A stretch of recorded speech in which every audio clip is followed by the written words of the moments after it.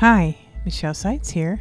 You're watching Book Formatting, Part 1 Setting the Styles. Here's the scenario you have text for a book and you would like to format it and get it ready for publishing. Watch this and the subsequent videos to learn how to format the headers and footers for mirror margins, to create a table of contents, create new styles, chapter numbering, subtitles, as well as saving all of the formatting as a template for future use.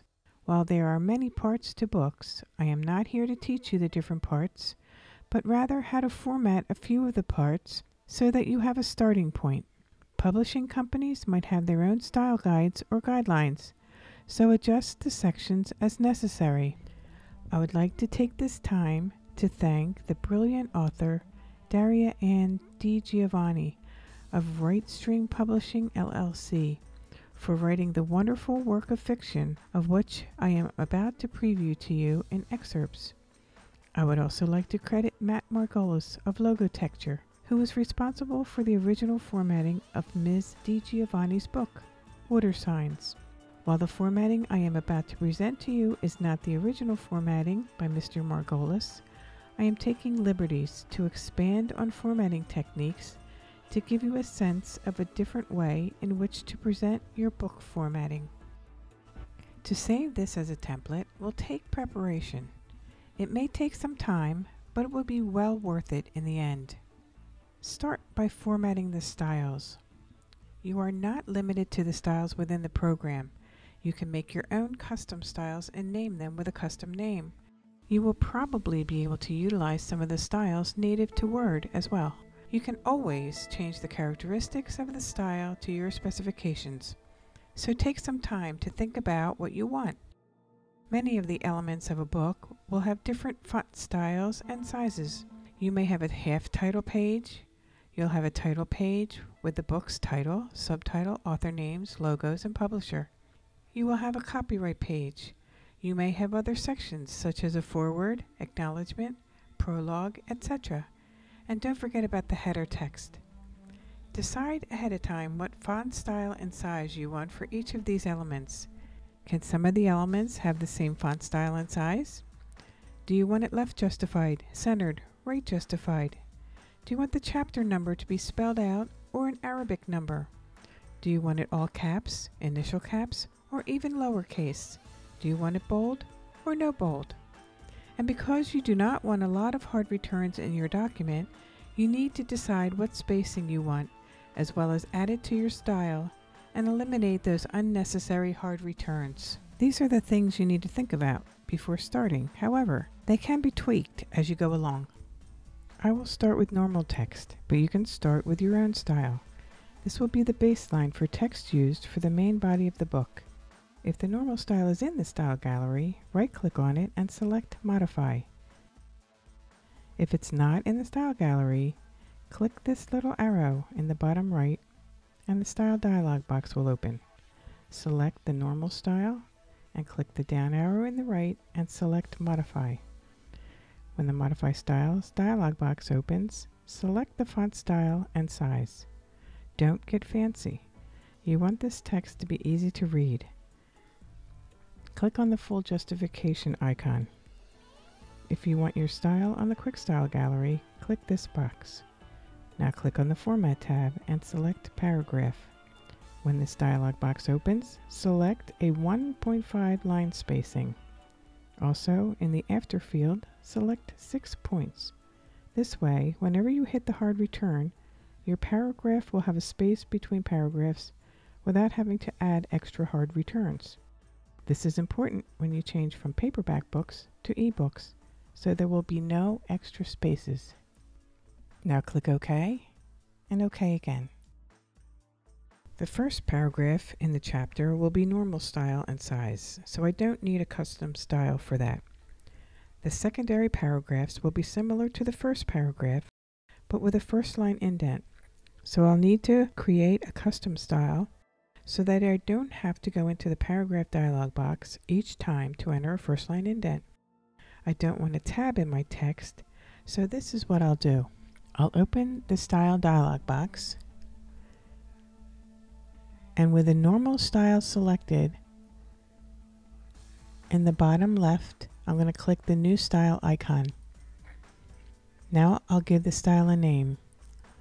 I'll call this secondary paragraph. Leave the style based on as normal. What this means is that the new style will start out with all the characteristics of the normal style, including the font face, size, color, spacing, etc. So you can just tweak the other characteristics. So it's important to select the style based on first. If you edit the other characteristics in this dialog box and then go back to this field and change it, all your characteristics will default back to the new style and you will have to start all over and add your specifications. The style for following paragraph should be the same name as the new style name in the name field. Click this box if you want to add it to the Quick Style Gallery. Go to the Format tab and select Paragraph. In the dialog box, in the Special field, click the drop-down and select First Line. Change the size to 0.3. Now click OK and OK again. Now your new style is in the Styles dialog box. Next, edit the chapter title. In order to get your chapters into the table of contents and keep the styles consistent, I suggest using heading 1 for the main chapter titles. You might want to start the chapter with a wide spacing before the text. If you have a subtitle and perhaps a quote or a graphic before the body of the text, keep the spacing in mind. You don't want to go much further than halfway down the page before starting the body of the text, so keep this in mind when you figure out the spacing. I'm going to make my chapters automatically numbered. So I'll go to the Home tab, and in the Paragraph group, click on Multi-Level List, and at the bottom of the drop-down, I'll select Define New List. Do not use Define New Multi-Level List. Name your new list style. I'll call this chapter list. Now click on the Format tab and select Numbering. In the Number Format field, I'll enter the word chapter before the number. I'm going to get rid of the paren and type in chapter. Since I want this initial caps, this is how I will type the word. In the number style for this level, click the drop down and make your selection for the format of the automatic number. Click on the font button and make all your selections for font size. Make note of the style you picked for the font because you may want to have the same font style for the heading 1 text style. To learn more about heading numbering, watch my heading numbering video. Now click the button called More. This is very important because you must link this style to heading 1 because you want it to be picked up in the table of contents and also in the navigation pane if you use it. After you entered all the characteristics, click OK and OK again. Now you have to modify the heading 1 style. If you see the heading 1 style in the style gallery, right click on it and select modify. If it's not in your style gallery, go to the home tab and in the style group, click the little arrow in the bottom right of the group and the style dialog box will open. Find heading 1, click the arrow on the right and select modify. Style based on should be normal. Style following can be normal. Under the font style and size, I want bold and I want automatic coloring. I want my chapter title to be centered. If not already there, click Add to Quick Style List. Click on the Format tab and select Paragraph. I want my chapter text to be centered, so in the General field I'll select Centered. You can also enter this on the center icon on the previous page. I want to have large space before and after my chapter text, so I'll add the spacing in the before and after fields. I'm going to change the line spacing to single. Click OK and OK again. You might have a subtitle below the chapter number and before the body of the text, so keep this in mind when deciding on spacing. If you have subtitle text, use the subtitle style. and format the characteristics to your specifications.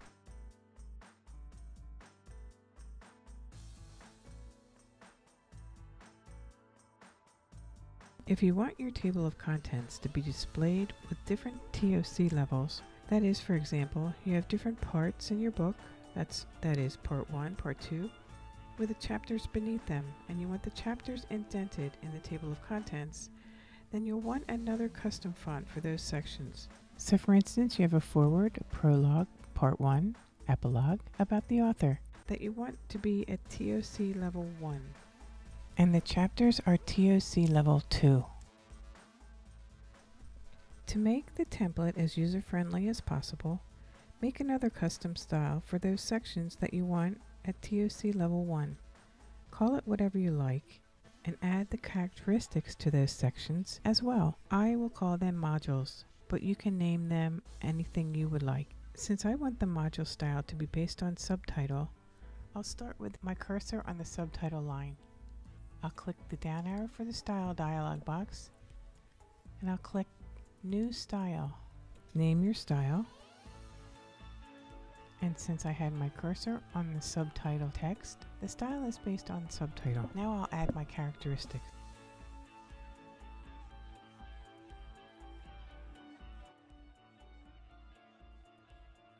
Now my module style is listed in my styles dialog box. Since I don't want the table of contents style to be displayed in the TOC, I will create a separate style for the word contents. I want it to be exactly like the module style, so I'll place my cursor on the word and I'll open up the style dialog box, click on modules, and then click on the new style icon. I'll give my style a name I'll check all the characteristics and then I'll click OK. And now my new style is in the Styles dialog box. Now don't forget about the header text. When you click in the header and go into the Styles dialog box, you'll see header in the Styles dialog box. Click the down arrow and select Modify. Add all your characteristics.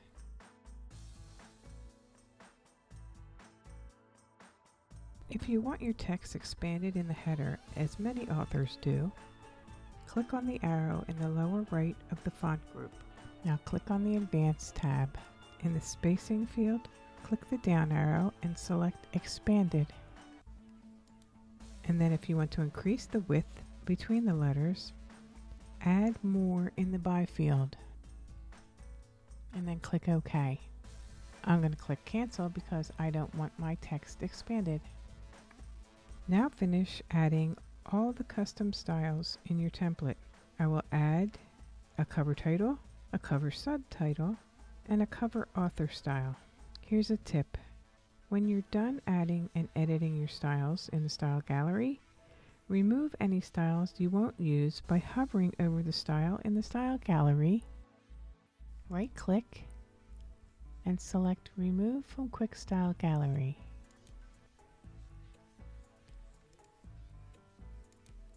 If there's any styles you forgot to put in there, just open the style dialog box, find your style, click the down arrow, and select add to quick style gallery. Now all of my custom styles are in my styles dialog box. They are also displayed on the style gallery. And that is the end of part one, setting the styles.